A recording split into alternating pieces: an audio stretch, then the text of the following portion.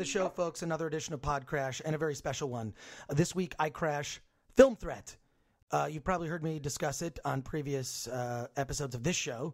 Uh, Film Threat is a magazine, started as a zine and then developed into a magazine, and now it's a website. And I did that thing. I, I was involved with Film Threat for 25 years. How many people you know did something for 25 years? I it's, it's shocking to me. So I started this thing as a kid, and now it's a popular website. I'm no longer involved with the site. It's run by Mark Bell, but I have some very I have something very special for Mark at the very end of the show, and you might want to listen in. Very special thing uh, for Mark Bell that I'll be doing at the at the end of the show. But before we get to the film threat podcast crash, I have to address something that happened in last week's show. Last week, I reviewed the review that came from the podcast Podcast Squared by Andrew Johnstone. And I, I, thought that what I was doing was all in good fun. I think that Andrew thinks that I'm I was actually really pissed off.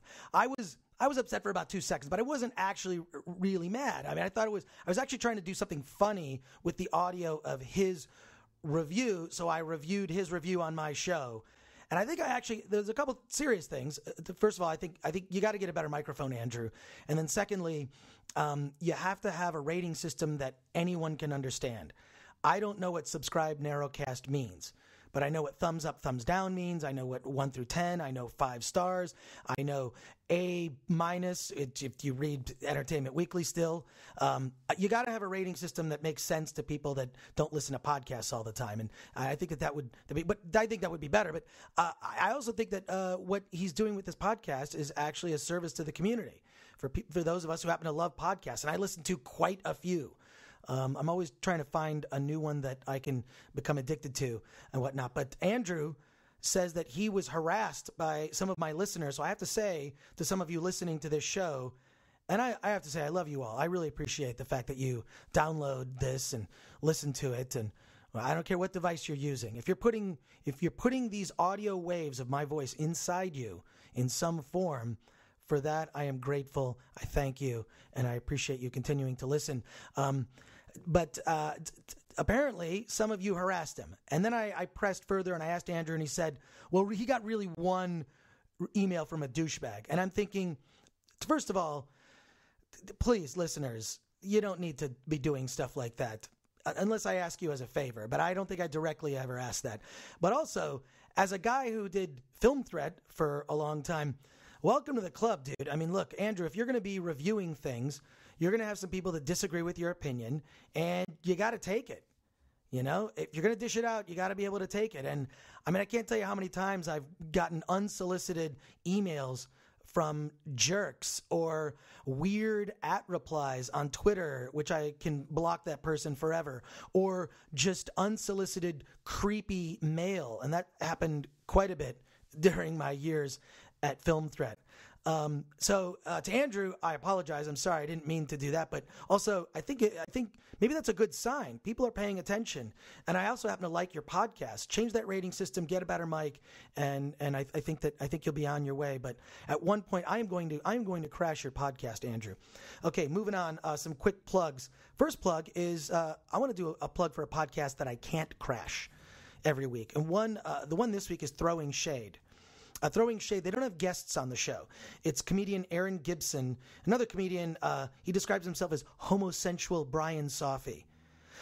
I think he's gay. I'm I'm pretty sure that he's gay. And I wonder, is it if you have a last name and your last name is Sof Safi and you're gay? Is that a, is that a bad thing?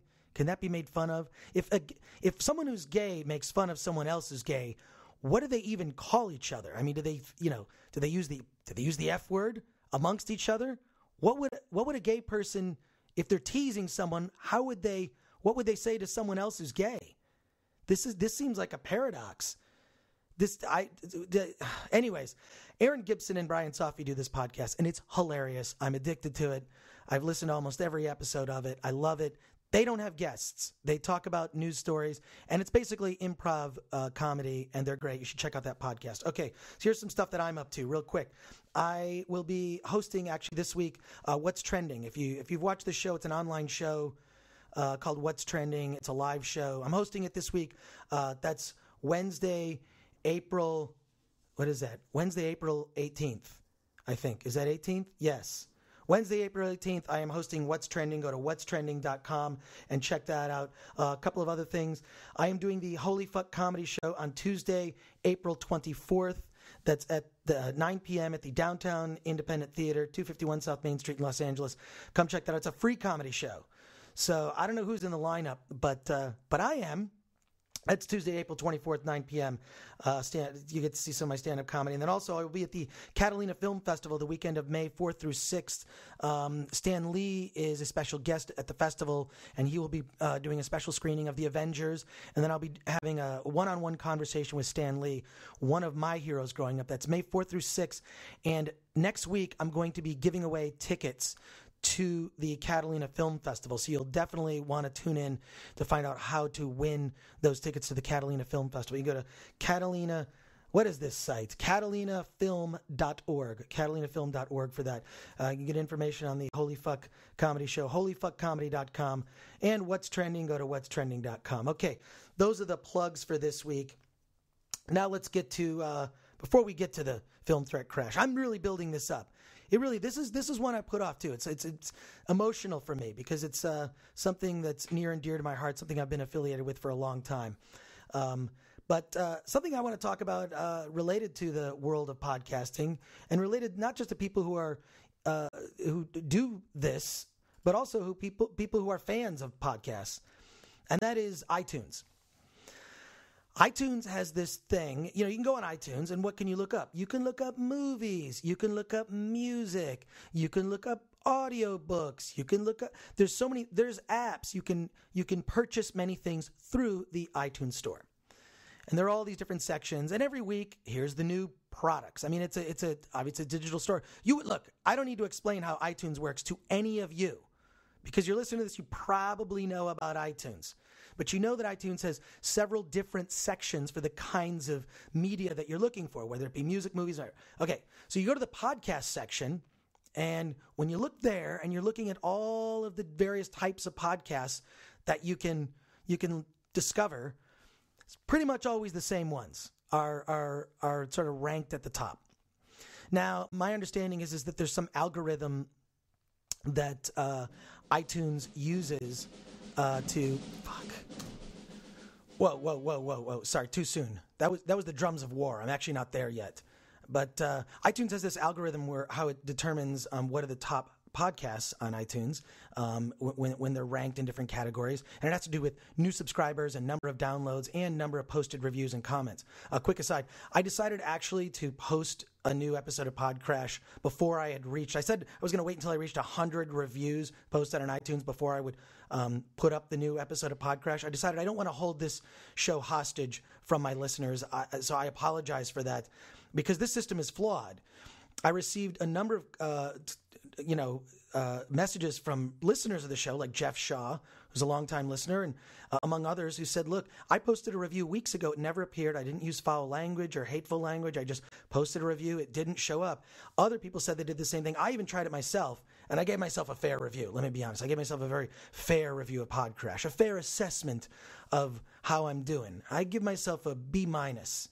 I, it's maybe a C plus. Anyways, so so. Uh, uh, this this this is a flawed thing. So I decided I'm just going to post this post the episode. Forget that for now. Something more important is happening, and it needs to be addressed, and that is how podcasts are ranked and featured on iTunes. Here's the issue. iTunes recently posted a poll on Facebook. And if you go to facebook.com slash podcrash, you will find I, I, have the, the poll up there. And they're asking, which comedy podcast would you like to see featured on iTunes? And you can select from, let's see, the Adam Carolla Show. Okay. It's, it's, I love Adam Carolla. I've read his book. I, I, like that guy. Uh, Smodcast, which I guess Smodcast, I don't say which Smodcast, is it, doesn't, have, doesn't Kevin Smith have 900 podcasts? Uh, Smodcast, which which what which of the Smodcast? Okay, so Smodcast in general. Look, I love Kevin. I love I love uh, I've I have th- all of his films and Red State, highly underrated film. Uh, Nerdist, Nerdist. You can also choose Nerdist. WTF with Marc Maron. And the Joe Rogan Experience. Okay, Adam Smodcast, Nerd, Nerdist, WTF, and Joe Rogan Experience. So, also there's another choice. Other. You can vote for other. Now, the thing I found sort of distressing about this is iTunes is asking, well, which comedy podcast do you want to have featured? The ones that they give you the choices of from the specific podcast, those are already big podcasts. Those are already podcasts that pretty much are always in the top five, if not the top 10, and they're just sort of jockeying for position. And they've been there for at least over the last year, maybe two years. And I have nothing against these podcasts. I'm a fan of, of these podcasts.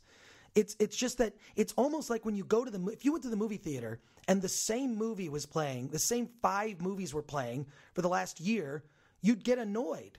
You would get a little irritated. Why should these be the only choices that I have? You mean I can only pick from these five that are already in the top 5? This makes no sense to me. So, I am going to encourage you to go to facebook.com slash podcrash like my page if you want, but but vote in this poll. There's a there's a link to the poll. Vote other.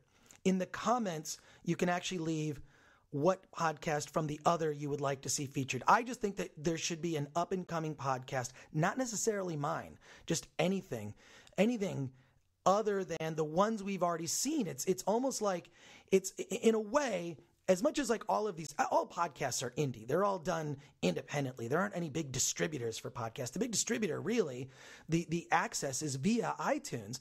And what they're saying is choose from among the five comedy podcasts that are already in the top five to be featured on itunes which i i don't know what they mean by features that could be featured on the front page?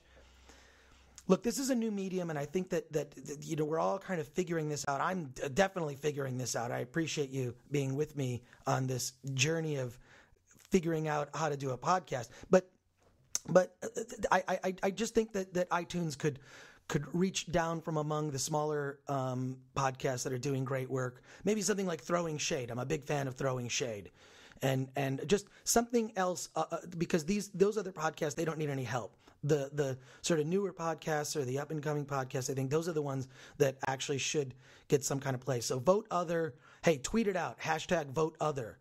Just vote for an uh, vote for a different podcast. Ah, there it's again. I'm not ready. Okay, so so look, if you want if you want media uh, diversified, if you want to have a lot of choices, then you need to discover new podcasts. I can't be the only one doing it with this show. Um, iTunes, I think, should find some other way of revolving uh, newer podcasts in so people can be made aware of them. Um, certainly, you know, uh, Joe Rogan and, and Hardwick with Nerdist and, and Kevin Smith and, and, and Marc Maron and, and Carolla, they built up audiences over this time and they sort of solidified those positions. But like I said, I, I, if you you know if, if my movie theater played the same five movies for a year, I'd be sick of them, and I sort of drift in and out of listening to those podcasts. But I'd like to discover new ones. I think that you would like to discover new ones too. So now I'm ready.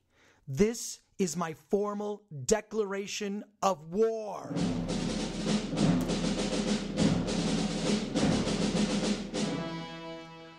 We've seen the war on Christmas. We've seen the war on women. And now this is perhaps the most important war of all the war on the top podcasts. I'm sick of them. I'm sick of the top five always being the top five. Let's have some diversity, some diversity in our media. There are other podcasts out there to discover. Look, look below that top five. Look down, maybe down to the bottom hundred. That's kind of where I'm lingering at. Look at those podcasts. Subscribe to any of those. Subscribe to mine. Subscribe to Throwing Shade or Proudly Resents or Tower of Sour or, or Podcast Squared, anything. Something else, some kind of diversity, something other than the top five that are always in the top five.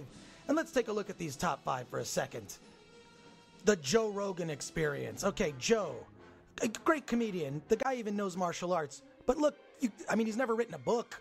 You can't punch a book into existence, Joe. And WTF with Marc Maron. Hey, Mark, with all your success now, are you happy? Because that makes you far less interesting if, if you're happy. I, I wish you happiness, but, but I like you when you're miserable. But for the period of this war, I will not like you. I will not like you, Marc Maron. And Nerdist, Chris Hardwick, a former former colleague of mine at, at G4. I, for, I, I feel weird even using the word nerd now. I'm going to switch to geek. I am not going to use the word nerd during this period of war. And I wish you all the success with your Nerdist network, which is a lot like G4, let's be honest. Uh, but I actually have an I actually have an idea. A total aside, while I'm doing this formal declaration of war, I actually think that I could launch a network on YouTube that would be more successful than the Nerdist network. It would be called, it would be the Retardist network, and would be where I get mentally challenged people, and I would film them watching all the shows on the Nerdist network. I think that would actually get a lot of ratings, like like the Wack Pack or something, watching the Nerdist shows and then commenting, you know, live commenting on all of the shows. I'm not going to say the word nerd during this period. I will only use the word geek and Smodcast. Kevin Smith. I, uh, my biggest complaint about you is we never get enough of you. Why don't you start some more podcasts? There should be more Kevin Smith podcasts. Why aren't all top 10 of all of the podcast Kevin Smith's Smodcasts? And Adam Carolla, a man who barely graduated high school. And I'm, honestly, I'm saying this. I'm a guy who's, barely, you know, I didn't finish college. So what am I? What am I saying? And I happen to think I read your book, Adam. And by read, I mean I listened to you read it to me, which I, which I quite enjoyed. But you're kind of dominating the space here. You're doing five podcasts a week, five daily podcasts. You're always in the top. You're always, you're number one step aside for a moment. This is like, you know, this is boring. You know, like when the Patriots ever win a Super Bowl, that's boring. Or when any team dominates a sport, Yankees. I'm sick of it. I want to see other podcasts get their day in the sun. I want to I want you to scream it. Vote other. Go to go to Facebook, find this iTunes poll. It's on my uh, page, facebook.com slash podcrash. Vote other. Put something in the comments about any other podcast than any of those five. Join me in this honorable war. The war to bring diversity, choice, and freedom to podcasts on iTunes. Vote other. Okay, enough of that. Uh, I appreciate you joining me in this war. It's actually just voting. In this war, uh, the, your way of fighting, just vote other on facebook.com slash podcrash. Look at that poll. Vote other. Uh, but but thank you for participating. I think it's actually a worthy cause. I, although my idea for the Retardist Network, I actually think I think it's a valid idea to actually get. Except I, you know, what might be funnier is actually use jocks. Get a bunch of jocks in a room, some some real jocks, and force them to watch shows from the Nerdist Network and record their their on ongoing comments. You know, kind of like you're sitting next to someone watching a TV show who always makes comments while you're you can't watch the show. You've got to like listen to their their stupid remarks so the stupid you hear a lot of stupid remarks from jocks watching the Nerdist Network. I I would watch that. I would watch that show in a heartbeat. That and some more cat videos. Okay, so on to this week's crash. Film Threat, as you know, is a, a website, and I was affiliated with it. It started as a fanzine magazine website. I was affiliated with it for 25 years. Started it as a kid.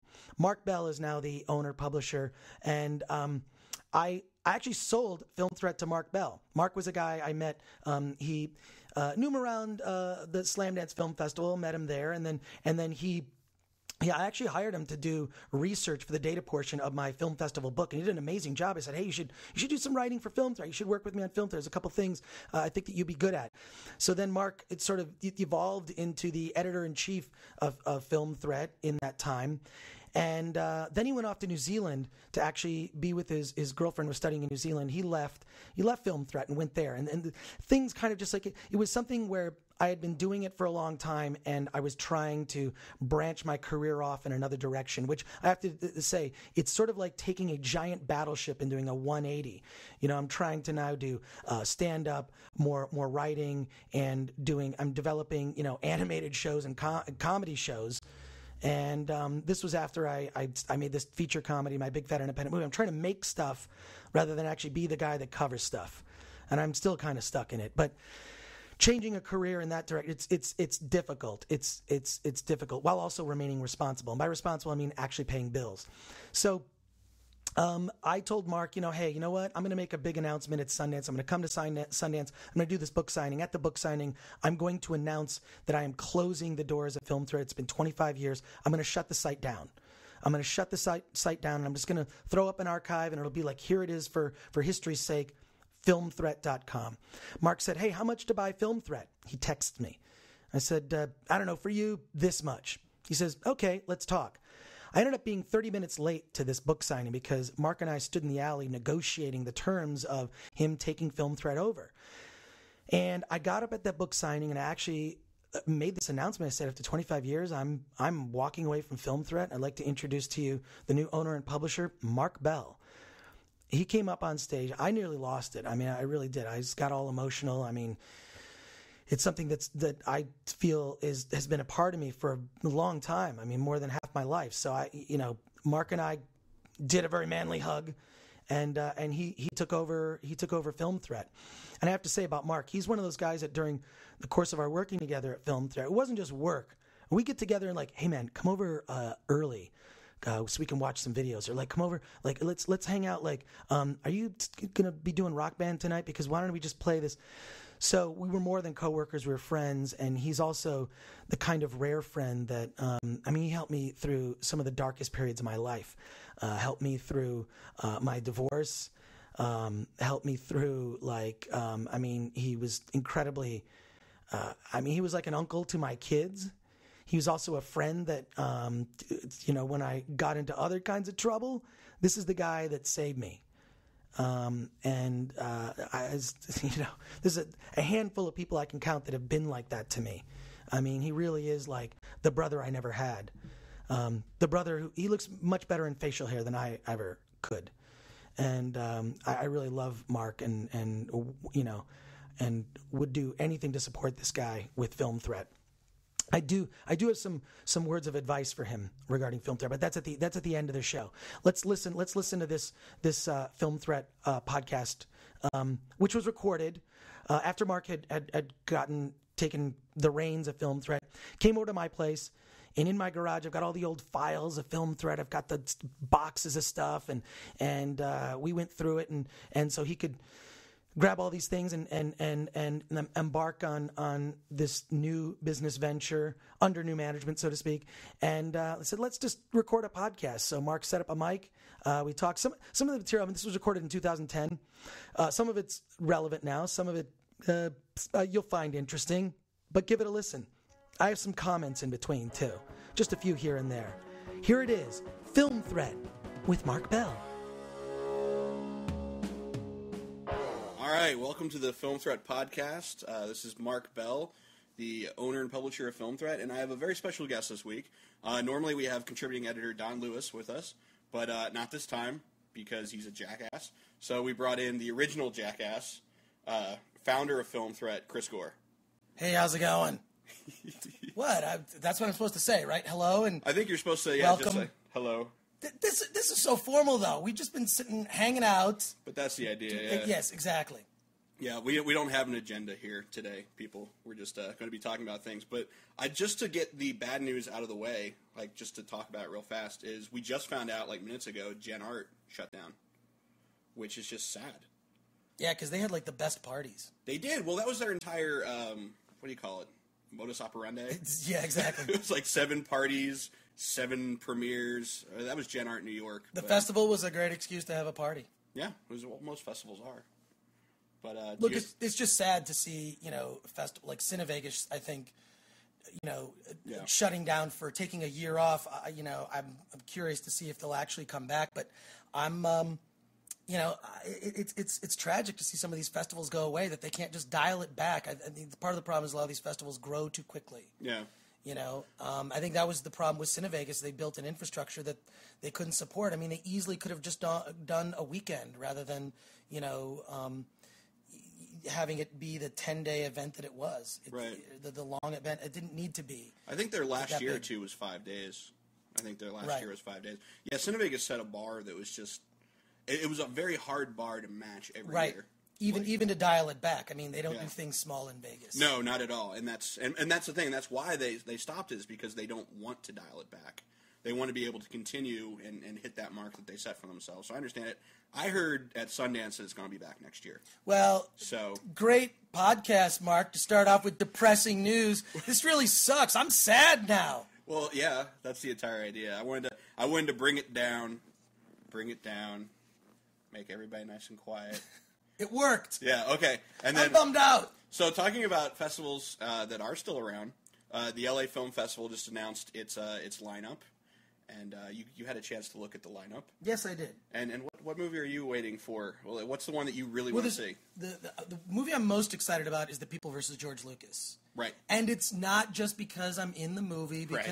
Just so you know, I'm in the movie. It's uh, a documentary about um, fandom's sort of revolt against George Lucas and and the way he's treated his fans, um, kind of like an, an abusive uh, a- abusive father would treat a child and breaking his toys. I mean, it's it's so, but really to me, it's it's more of a it's it, it it's kind of a love letter to Lucas in a way because he cre- created in a way fandom.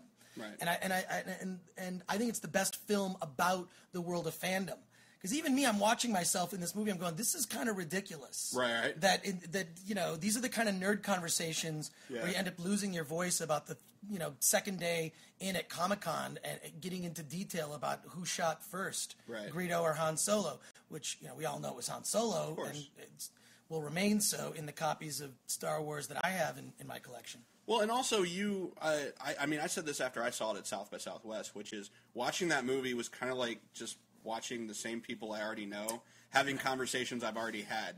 Yeah, You know, usually with those people. But it was such a well done documentary, visually speaking. I mean, Yes. one thing when I was talking to the director uh, about it was just like, d- don't make this a talking heads. Like so many documentaries fail at making it talking heads, and it's just so visually amazing. Um, and also the stuff that he dug up. I mean, there's like interviews with George Lucas in the early '70s from shows I've never even heard of, where he, and you can see where he contradicts himself. You know, Yeah. shows setting himself on one path and and then on another. It's it's a it's a really great documentary, and I'm just happy that it's going to have an LA premiere and get a lot of attention. I just hope that George Lucas would see this movie and then just consider, look, he can have all the special editions he wants. Just preserve the history of the original Star Wars. Don't rewrite the history. Yeah, and I think the I think the documentary is uh, what do you call it, reverent enough. It's not like Yeah. they, they're not pissing on George Lucas. Like they bring up the points against him, but also it's a very measured documentary. Like I actually thought it was a lot kinder Yeah. than, than when I first heard the idea for it when they were first asking for people for interviews like years ago. Right. Like I was like, really, we're gonna do a documentary about people whining about Star Wars? the title is very provocative, but it's I, I I think it's it's presented in a balanced and fair way. But you get to hear both sides. I mean, I I, I, I really love it. Can't wait to see it again in LA. Awesome. But then also the LA Film Festival is playing the new Twilight movie. That's right. And let's be honest, this is why film festivals to exist. It's to help smaller movies that need that need a little push into Yeah. the marketplace so that there can be more awareness of it. And I just hope that this second Twilight movie Be third one. Third one, whatever. It I mean, I don't know. Oh, it's the third one. That's right. It is the third one. I don't Oh keep my track. God. I don't know I never on. saw the first one in the theater, but I had to see it for work. First one's hilarious. I so I, I, the thing is, is it's to help small films like the new Twilight movie gain an awareness among people who go to film festivals.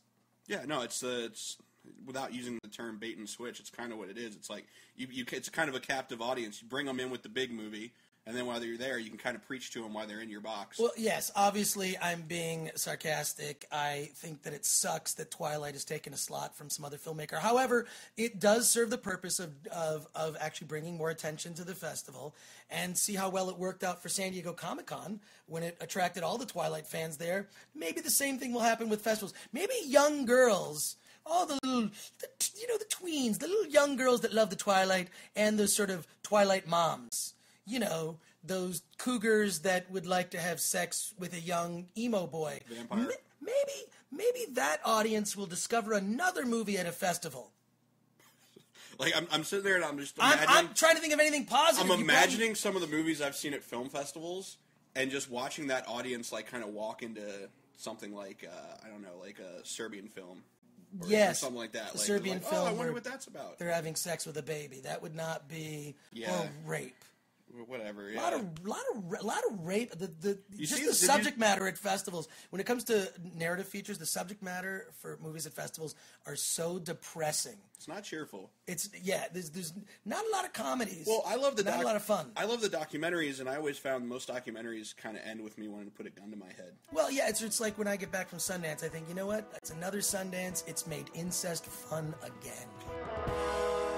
As I listen to this, I'm reminded that uh, a lot of a lot of film festivals are actually on hard times. I mean, from sponsorships and whatnot. And I really think that the that the internet um, has been a big part of that. I think that if you're a filmmaker and you are looking for exposure, um, I'm not sure if a film festival is going to be your first choice.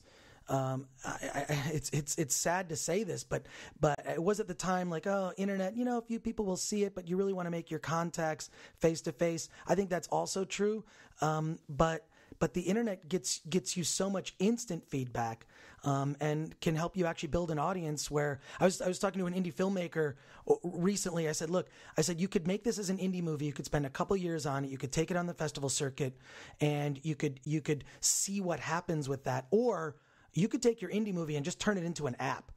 I almost feel like that would be take the content that is your independent film, chop it up into little bits, turn it into an app that you can download, and that would probably get more attention than you would taking it to a film festival. I, it's sad for me to even say that, but I think that that's kind of what it's come to. If you're looking to reach a wide audience, um, the internet, uh, the internet is where to go for indie filmmakers. Anyways, okay, back to the podcast. Anyway, so uh, last night, well, let's let's preface this. Yes. Spoilers spoilers are going to abound for the next however long this conversation lasts. But last night, you and I went and saw uh, Iron Man two. Iron Man 2, Yes, so we saw it. you know, okay, let's go back to the first Iron Man. let's go back to the first Iron Man for You mean where logic prevailed? yeah, I there love was. the first Iron Man. I had no expectations for the first Iron Man. I think I saw it just for the hell of it. Um, and so it pleasantly surprised me. Uh, Robert Downey Jr. was amazing. It was a lot of fun to watch. And so going into this one, keep going. going into this one, I was similarly lowered the expectations. I went in saying, you know what? If I go in saying I hope this is just like the first one, I'm just going to let myself down. So I'm just going to go in like I did the first time. I mean, it's no imaginarium of Dr. Parnassus, but go on, Mark. There's no unobtainium. Yeah. Actually, there What? kind of is triangulum.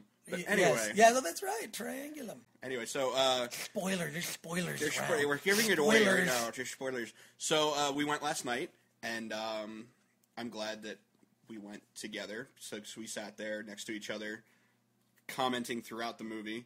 Well, the comments basically were a series of expressions along the lines of "What?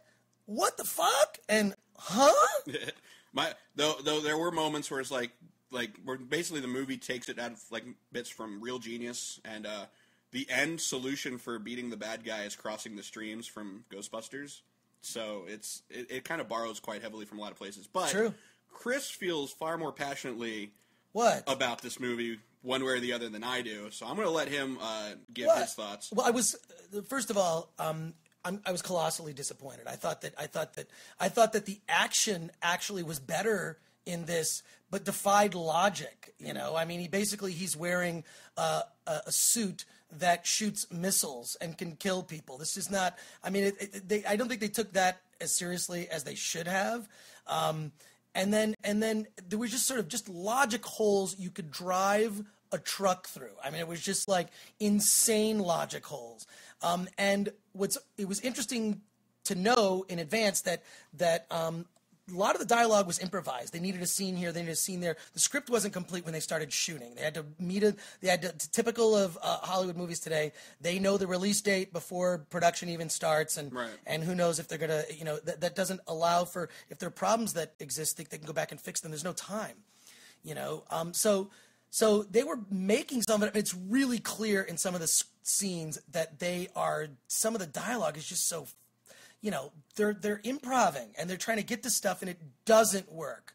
I'm sorry robert downey jr had had way too much leeway um, in this to kind of be crazy tony stark. It doesn't work folks.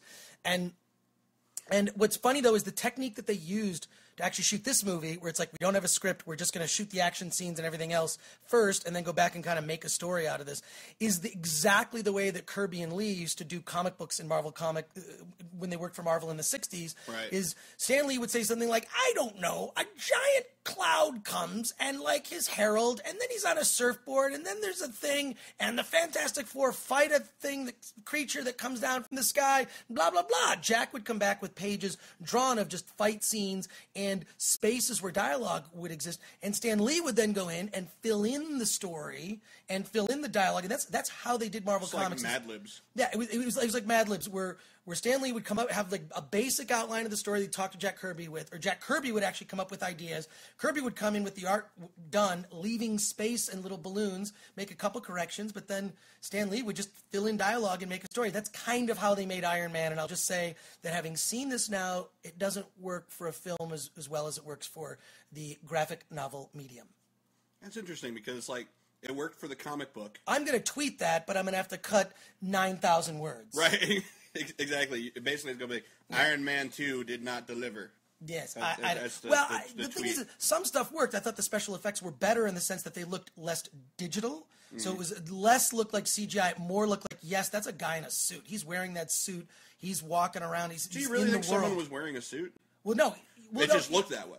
Yeah, yeah, no. I mean, Yeah, he had the suit. He, I mean, he did. Like, there's, they've had stills of it. I mean, like, there is a suit that exists. Really? Yeah. I didn't know that. Look around. Look around. This suit. He has a suit. There is a suit. Right. No. Made of rubber. It's not a digital. Yeah, it's not all digital. I'm sure it's digitally enhanced, but but um, there were just so many logic holes. You know, his his re- relationship with Rhodes and Well, you didn't like his character. Like you didn't like. You felt he was overly narcissistic, like to like a degree that was Yeah. not even entertaining. Tony Stark wasn't likable like he was in the first film, where you're like, oh, okay, I kind of feel for him. In this, he's sort of a pompous, arrogant prick, and and you go after a while, it's like, well, you know, when does he like get real and and and just his the, the thing you find out is that Tony Stark is dying. Right. He's dying, and and and so that's no excuse to, to be an asshole. Um, I kind of he, he really I would argue that's me. the only excuse to be an Yeah, asshole. But he, but he kind of lost me. I kind of just didn't like his character. Right. And then Rhodes come in, makes no sense. He's supposed to be his friend, steals one of the Iron Man suits, get, gets it sort of tweaked with by Sam Rockwell's character. Sam Rockwell's character makes no sense, and Mickey Rourke is just ridiculous. And and this is there's supposed to be some oh, oh you know all, I know these other problems these other problems are solved so quickly like oh he's dying well let's just give him a shot Right, Shield right. gives him a shot and then he's fine Yeah. that makes no sense And and here, go easy. figure out a new element for the periodic table. Your dad almost figured it out. And Yeah. like there's a weird kind of forced subplot in there with like Right. Tony and his dad and and like his dad was mean to him and he's he's holding a grudge and that's part of his character development and then like there's like long lost almost lost from like the TV show Right. film footage of his dad being like, "Tony, I can't figure this out. The technology's not there yet, but you will. I always loved you, son." Like something like that. It's like real. You wouldn't film it, I, I guess. But what was funny too was the crowd reaction. People did not cheer. There were there were very few you know moments for an audience to really get behind what was happening on When, screen and when cheer. the Black Widow, when Scarlett Johansson kicked the guard's ass, a lot of people got into that. that okay, I, I will say this on the positive side, Scarlett Johansson's character is the standout. I would have seen an entire movie with just her. I mean, I, I'd like, in fact, I'd like to see her and Hit Girl, although it would be illegal in most countries, a video of the two of them going at it because that, I mean, kicking and fighting. I was just gonna say it's, it wouldn't be illegal if they were fighting. Exactly, exactly. Uh, my thoughts on Iron Man Two. Uh, it was, oh God, it was. It's just, all, all of this is a build up to the Avengers, which I have not yet seen. I am one of the few people, the few people at my work who have who have not seen the Avengers yet. Uh, but I'm very excited to see it with Stan Lee uh, and the weekend it opens. Um, it's a big fan of these Marvel movies, but what's funny is is how, how, lost the source material is. I mean, there are kids watching these movies today that think it's cool that they're making movies from these video games that I've played. Uh, so w- whatever. I I can't wait to see the Avengers, and that's what all all these Marvel movies have just been a prequel to the Avengers. Let's get back to the podcast.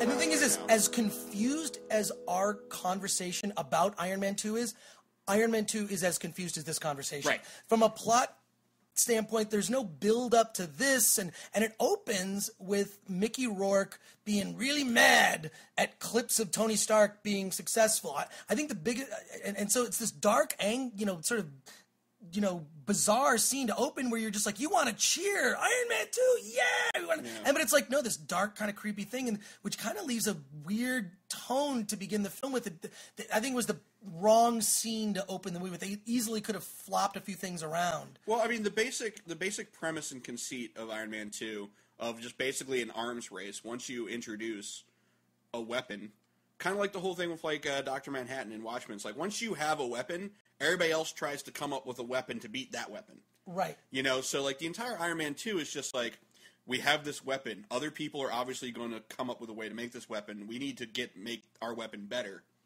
And Iron Man shouldn't be the only one that has it. So that's like the basic premise of it. From there, it gets silly. Um, I, I really think a lot of the film, because I thought the action scenes were pretty amazing. I think that um, a lot of well, the, it was like I said, action figures slamming against each other. That's pretty much all it is. It's yeah, a bunch of action figures slamming against each other. I, you know, but but um, a lot of the problems could have been solved with some just more careful editing and just probably a couple of reshoots. But but wow, does it show how important writing is? I mean, yeah. I, I, mean, writing is such a critical. I I think that the, I mean the, the best. I, I really think that the best filmmakers today are actually coming from television, mm. because because I think that um, television every week. You get the opportunity, if you're in that writer's room or whatever, you, you get an opportunity to you write an episode of a show, and six months later or so, or less than that, it airs, mm. and you get feedback in the form of ratings and fan reaction. You get you, feedback is is like air to a writer. You want to get feedback, both good and bad. It it, it, right. it, it helps build up those writing muscles. And I feel like when having worked in writers that have worked in television and then go on to make films, writer producers normally is that. You know, J.J. Abrams came from that. Yeah. Joss Whedon. Um, you know that that gives you an opportunity to exercise those writing muscles, and I think that you develop better instincts. The problem with screenwriters, Hollywood screenwriters, is you write a script and maybe seven years later it'll get made. Right. And between the seven years, you've written maybe nine screenplays if you haven't quit and moved back to Oklahoma. Right. So the the, the difference between a Hollywood screenwriter and a TV writer slash producer, I, I think is is is dramatic, and I think I think it, I think you're seeing some of the best work come from people from television. To me, the, the better writing is on TV, and then movies is sort of a mixed bag. You can do spectacle in film, but but definitely don't go to movies for good writing. For um, I guess looking at it under the uh, under the situation which existed, which was you know you have this movie, which because the first one was so successful, the second one was kind of greenlit and let's go, go, go, go, go, go, go, let's make it. Right. Here's our date. You know, like we're gonna we're gonna make it in two years. This is how it's gonna happen. Favreau's on. He's not on. Who's directing it? He is. Who's writing it? You know what I mean? Like sort of thing. Considering everything that went into that and the rush production and the knowledge of how they they do this every single time there's a moneymaker, was Iron Man two good considering those circumstances? No. Okay. I'm sorry. I mean, I think I, I definitely. I think we were talking last night. It's like it's like a C. Right. Unfortunately, I, I and I really wanted to love it because I thought the first one was a surprise. It's sort of a B level character. Um, you know, would it work today? They made it relevant. They made it work. I think the biggest mistake story wise was Tony Stark revealing that he's Iron Man. I think the secret identity thing, there's a reasoning. I mean, like, you're watching all the problems in the film stem from him not having a secret identity. Right the fact that he revealed himself because he's got such a big ego, right? It should have been something. It should have been a flop where they start the movie and it's like, oh, I was just kidding. It's but like Tony Stark was tragic. Drunk. Yeah, they could have they could have continued the press conference from from the end of Iron Man one, which they kind of tried had, to do, they, and and then had Iron Man and Iron Man land.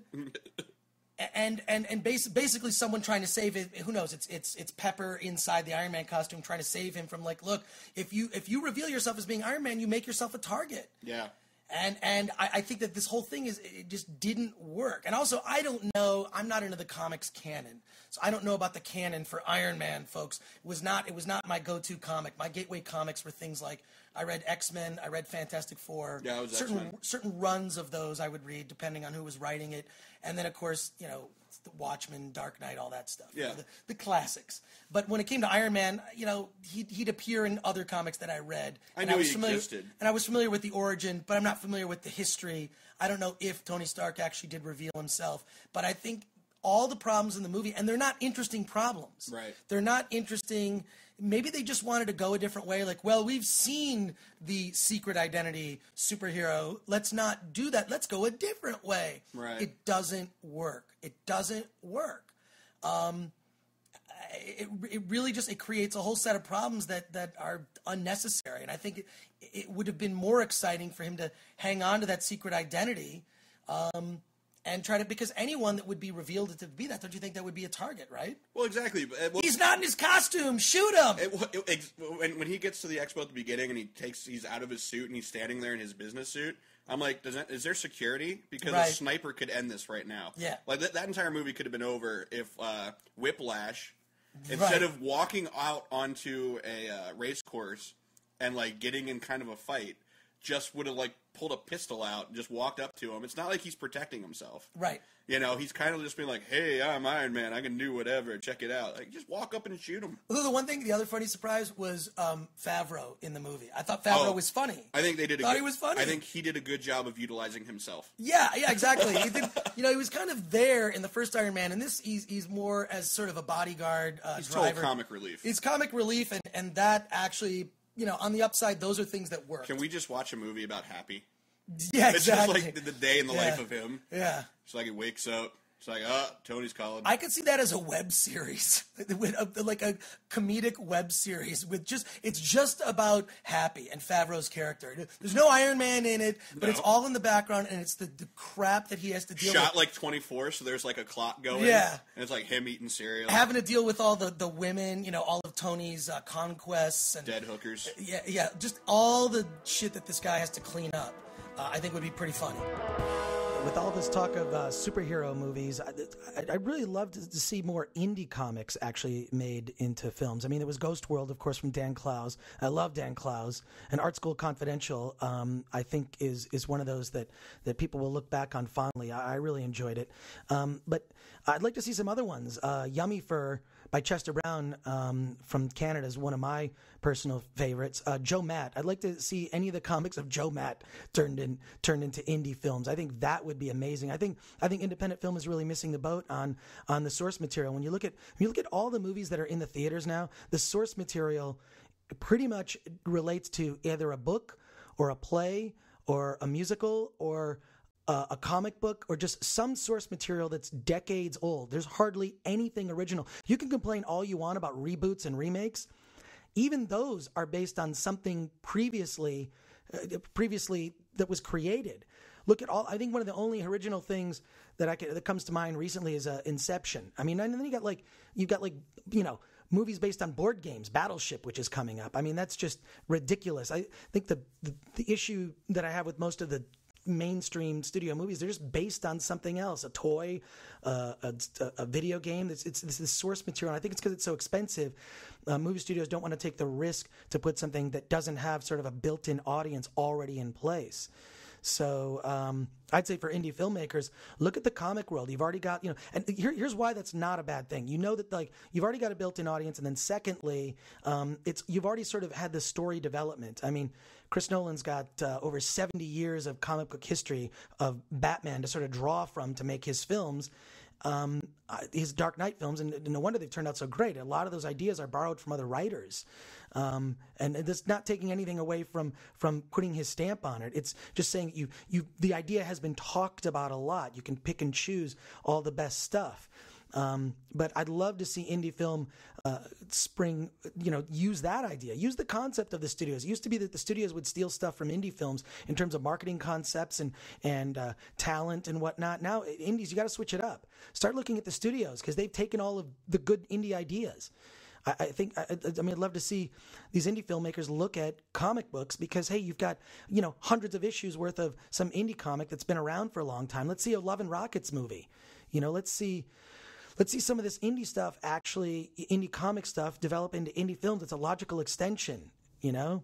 And then turn it into an app. That would be how it would probably get more attention than than at a film festival now. I'm not taking anything away from film festivals. I just think that indie filmmakers have to really think think you know differently about how they they market and and get their films out there because 2012 is the year where digital downloads of movies will actually will actually uh, surpass sales of individual movies on DVD. Uh, that's right, folks. If you're someone who's a DVD collector, um, get ready. The world's about to change. It's it's it's it's now going to be a download world. Download Tuesday. Does that sound good to you? All right, back back to this uh, final segment from Film Threat, and then I, I have some thoughts. Let's switch gears. Let's talk about a movie that we both actually liked. What's that? Well, Exit Through the Gift Shop. Oh yeah. Yeah, have you talked about it anywhere yet? Uh, no, no. I mean, I, just to you know over Twitter. Oh yeah. Yeah. Exclusive Chris Gore conversation about Exit Through the Gift Yes. Shop here on the Film Threat podcast. I was saying, you know, it's because we have exclusively you here in this chair, Exactly. exclusively next to me. Precisely. We should exclusively have that information. Yeah. So no, I loved Exit, Exit Through the Gift Shop. I saw it at the Florida Film Festival. Didn't catch it at Sundance. Right. I wasn't at Sundance very long. I but uh, Exit Through the Gift Shop was amazing. Um, I mean, just uh, this this the this profile, which begins as sort of a profile of street artists, that's kind of twisted into being a film about the person who initially started making the movie. Um, we're talking about Mr. Brainwash. Right. Um, uh, w- but what's interesting about the film um, is I wonder how real it is. I mean, knowing Banksy, um, who hides behind a secret identity, and I don't know, like I know of street artists and Yeah. and whatnot, and Shepard Fairey and, and that whole thing, but um, but uh, uh, Banksy I don't know a lot about. It's because you're not in Britain. I'm not in Britain, right? But um, who is Banksy? Is it a guy? Is it a bunch of people who decided to create a fake person named Banksy Right. that could be blamed for some of the street art? Because, uh, as was demonstrated in the movie, much of the street art to pull off requires a team of people. So Yeah, there's always there's always one person who I guess you could call the artist, and one or two they're either a lookout or an assistant. There's always other people involved. It, it, it, it's very rarely you see a one man team. I wonder how real that is, or did they manufacture this sort of BS person in order to sell a bunch of cheap art? Well, I mean, I think it's one of those things where, yeah, is it fake? Is it a joke? Uh, I always look at humor as humor's humor, funny's funny, a joke's a joke, regardless of whose expense. If it's a really funny joke, then I like it. Um, in this case, if it is fake, if it is a joke, if they like totally took advantage of the art world, if they took advantage of each other, however it was, it's a very good joke, Ex- and I yeah. appreciate it. And on top of that, it's entertaining. I mean, it's just extremely entertaining. And I think, I mean, there were moments that are just so inspiring. Like, as someone, you know, I do a little crafting on the side. Yeah. I do a little manly crafting. Um, and I, I, I don't know, I do a lot of modding more than more than anything. It's just, you know, um, that's sort of my that you know that that's that's my form of Fixes expression. things. He's a fixer. I, I do a lot of weird creative things that have no point to them, but uh, which I guess, you know, if I can figure out a way to sell it, yeah.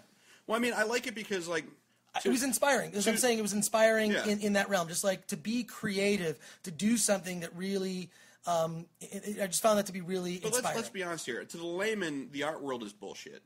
I mean, I listen. I like I like a lot of the different art I saw in that movie. I like a lot of the different art I've seen throughout my lifetime. I was a studio art major in college. Mm-hmm. You know, it's like, but I can't tell you why something should justify a million dollars. You know, and what I, I like about the idea of this is that it, it kind of it's poking fun at the art world in that way because uh, when Mr. Brainwash decides to become an artist, you know, it's pretty much he's not even doing the art.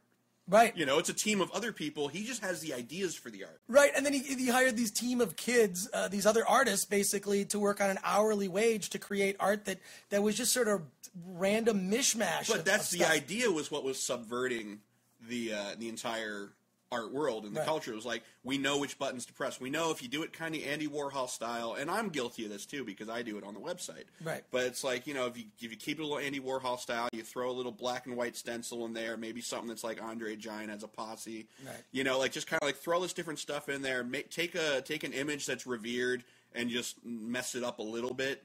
Someone's gonna someone's gonna find great meaning in that. But uh, yeah, so I mean, it's if it's a joke, it's a good one. Yeah.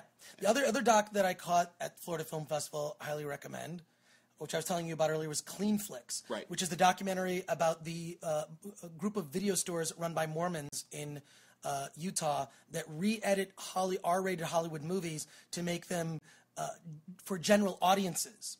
And the their their battle against uh, Hollywood and a lawsuit from the DGA and the results of that. And it is absolutely amazing documentary. What I do like about it, it presented both sides fairly, and I think that the problem with this this subject is it tends to just be a knee jerk, like, well, editing them is wrong. There's another side to that story, and I do like that um, the guys who made the film are former uh, Mormons. and they they did a great job presenting both sides fairly. What, what doc have you seen lately that that really impressed you that I haven't seen? That you haven't seen? And I'm sure there's a lot more. you lot might more. have seen it. Uh, I was talking with Don about this uh, after the Dallas Film Festival, but uh, Waking Sleeping Beauty about the Disney animators. I have not seen that. Oh, that was amazing. Because basically, what it was is, um, you know, in the '80s, Disney animation was pretty much dead, to the point where they were even bulldozing the old animation building, and it was just kind of like this perfect storm. Like Eisner gets named CEO and co-CEO, I think, with Frank Wells was the other guy, and um, basically they bring in Jeffrey Katzenberg, and he's going to run the animation studio. And at the time, they have all these great artists there. You know, uh, what's his name? Uh, the guy from Pixar's there. Uh, God, why am I blanking on his name? Do you know it? Oh yeah, the guy from Pixar, John Lasseter. There you go. Yeah, John Lasseter. Uh, even Tim Burton's there. Cool. Like it's real. But basically, this one animator just filmed the entire time he was an animator at Disney. So it's like tons of like really kind of inside footage of these animations that started out and led through like the Rescuers Down Under, which was like the first CG animated feature. Like that kind of paved the way. That's that's where they bought the computers that became Pixar. Like stuff like that, and you kind of see them the arc up through the Lion King Wow. and how like the, the Disney studio completely reimagined itself and saved itself basically. Wow. And it's just it's incredible because um, I mean for me I was a I was a kid growing up with those movies like the, the early 80s on through like that that was my sweet spot for for kid movies. You know, never mind Watership Down. But, Yeah. you know, which was That one's disturbing. which I, was I, not my sweet spot, but I, I do love that movie. I love Watership Down. I Am Comic was really funny too. Uh, tell me about that one. I Am Comic was uh, I saw that at the Atlanta Film Festival, and that was basically it was a, a as I've said before, it's like a documentary about comedians. It's actually funny. Because no, yeah, normally they're depressing. Exactly, and this this one isn't. And uh, so it was just it's just a, it's just kind of just explores the the comedy world and stand up comedians in general, and, and it, it's just it's just I mean that's really at the end all I can say about it is that it's a com it's a documentary about comedians that's actually funny. Well, I have another doc recommendation for you. All right, let's do it. Dumbstruck. Oh, okay. It's a documentary about people who are obsessed with ventriloquist dummies and have, are trying to build a career as entertainers, making money in the field of ventriloquism. Nice. And it follows a group of ventriloquists. Um, one is kind of this hot chick Okay. who, you know, basically uh, uh, decides she's not going through with her wedding and she's going to seriously pursue ventriloquism and is Why, trying to why get do the two have to be mutually exclusive? Exactly, and she's and she's she's going to seriously pursue her career, and the the dream is to play um, on the, these cruise ships. That's where the big money is, is cruise ships. The the other, and then they follow another a kid who's like uh, like 13, 14 years old, who's who's trying to be a serious ventriloquist, and his father's like, well, you know, he should be playing sports. He definitely is going to be football season's coming up, and you see that this kid is definitely not built to play sports, Right. And and clearly is using ventriloquism as an outlet to express how he really feels about things. Then there's another person who I suspect was once a man that had some correct some corrective surgery in order to become a woman. Right. Although it's never directly mentioned, um, a transsexual ventriloquist. This is, this movie is it's hilarious. It also follows this guy. I'm going to forget his name. Um, he won the I forget his name. He Fontaine, I believe, is his last name. He um, was the uh, America's Got Talent winner, Right. And then got signed with a hundred million dollar contract at one of the Vegas casinos. And you see kind of his story and how he came up um, as a ventriloquist, and and it ends at this uh, big convention for ventriloquists. I mean, it's I love I love any documentary that focuses on a people who are obsessed with a particular thing and then take that sort of passion um, just incredibly far in their lives. I love those kind of things because I kind of feel like I can relate to that in some ways with my personal obsessions, which have always gone too far. So that's it for this week's Crash Film Threat. You can follow them at Film Threat on Twitter and filmthreat.com. And uh, you should definitely check it out, especially if you're an indie filmmaker or just someone into DIY projects. Uh, Mark Bell champions a lot of crowdfunding campaigns by filmmakers, um, and, and the website reviews. They'll review anything. Uh, they will review absolutely anything that you send their way, and um, it's just amazing to see it exist uh, beyond my involvement. Uh, it just really that it's it's like the chocolate factory. So Charlie Charlie is now in charge, so to speak. Um, funny thing, uh, real quick, I, I promised something at the end. Um, when it comes to leadership, my only real point of reference to um, r- running something, a business or whatnot, was was the original Star Trek series and Captain Kirk. Captain Kirk was kind of this role model for me growing up watching episodes of the original show. And there's an episode of the show where everyone thinks Captain Kirk is dead. I think it's it's the Tholian Web is the episode. And Captain Kirk records a video message that he leaves behind um, for Spock and McCoy to watch um, and, and for him to offer sort of some final words of wisdom, some sort of guidance going forward with the Starship Enterprise without him in command. And so I have some advice for Mark Bell now that I'm no longer involved in, in Film Threat. And, and, and here's, here's what I have to say Mark, the future of Film Threat is in your hands. She was mine for 25 years, but, but now you're captain. You sit in that captain's chair. Decisions you make will help influence the indie filmmakers of the future. The causes that you champion will affect the future of independent film and media. It's up to you to continue to support those filmmakers. Take that job seriously, but never take yourself seriously. You're pretty much already doing that, but I thought I would just mention it. Also, you might consider spinning off a personal Twitter account like Mark Film Threat or something, just so I know what Mark is up to. I get confused sometimes when I read sports scores or, you know, airport reports from the Film Threat account. I, I have no idea what's going on. Maybe it's because I'm an idiot, but think about that. Think about spinning off a completely separate Twitter account. As for the site, change it up every once in a while change up the design, give it a fresh look. It's like a fresh coat of paint, or it's like uh, putting up a painting or a poster in a new room. It, it changes it up, makes it feel different. So consider a design refresh. And the podcast. I, I, I love I love when you talk to Don. If I ever want some kids to get off my lawn, I'm gonna give Don a call because he's so good at that. But really, I, I think that the podcast is an opportunity for you to invite other people on other than Don. You know, Don, uh, sometimes on the Skype, uh, I, I, I can't understand what he's saying. Interview some filmmakers on the podcast. Get a portable mic. Take, take that and interview some filmmakers at festivals. You travel enough to festivals. Put some of that content on the podcast. I'd really like to hear more of that. Look, you're already going in the right direction. Keep going. Never quit. Mix it up. Make it difficult for yourself. Make it hard. It's not worth it's not worth doing if it's not difficult. You have a huge challenge ahead with media changing and and it's you know TV, the internet, that's all merging. Attendance at, at theaters is, is dropping. Film Threat now is perfectly positioned. It's a huge opportunity to show show the world a new way of looking at up and coming filmmakers, new voices, new creative voices. Film Threat has always represented that. Continue to ignore the publicists. You and I both know most publicists are assholes. They're just there to pitch you a story and to try to manipulate you into to, to writing some puff piece about whatever it is that they're getting paid to, to, to spout at you about. Ignore them. Continue to ignore them. You pretty much already know that, but but seek out those those new up and coming indie filmmakers, those new voices. They must be heard. Continue to be the champion for those voices. Because when you look at the, the, the, the movie sites out there, they're constantly giving a hand job to the studios. Don't give hand jobs to film studios.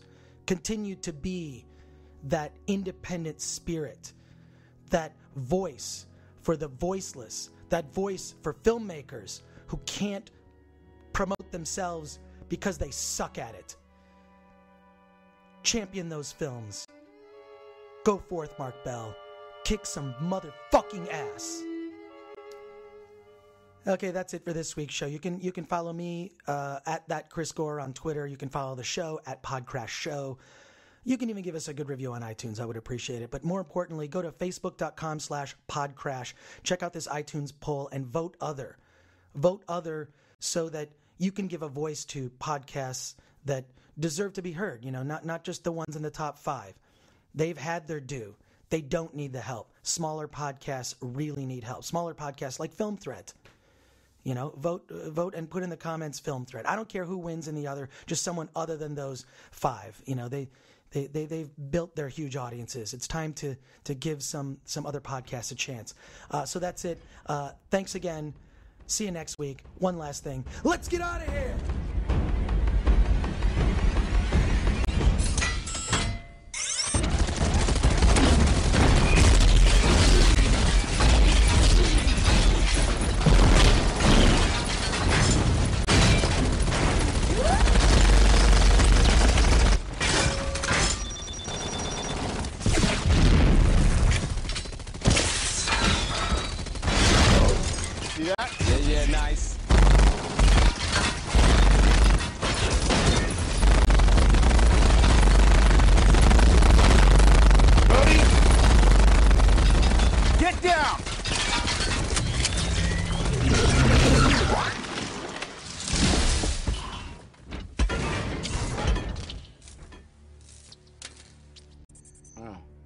Should lead with that next time. Yeah, sorry, boss. I can only use it once. It's a one-off. Hey, if you're still listening to this, you're probably a lot like me. You're the kind of person who stays through the end credits of a movie. We're a lot alike. I like you. For that, you shall be rewarded. Send me a self addressed stamped envelope to Podcrash with that Chris Gore, 5042 Wilshire Boulevard, PMB 1500 Los Angeles, California 90036, and I will send you back in return something for free. It's a surprise. And this week, follow at Podcrash Show on Twitter. If you follow us, we'll follow you back. And if you DM me at Podcrash Show, and you live in the uh, Southern California area, and you would like to get tickets to the Catalina Film Festival, which will have Stan Lee and which will have a, a be screening The Avengers and a lot of other cool indie films. Check them out at catalinafilm.org. I'll get you some tickets. Just direct message me. I don't know how many free tickets I'm going to have, but uh, I'll give them away to, to, the first people that reply. But you have to make sure you'll be in town May 4th through 6th. Free tickets to the uh, Catalina Film Festival. Kind of cool. DM me. You'll win them. Later.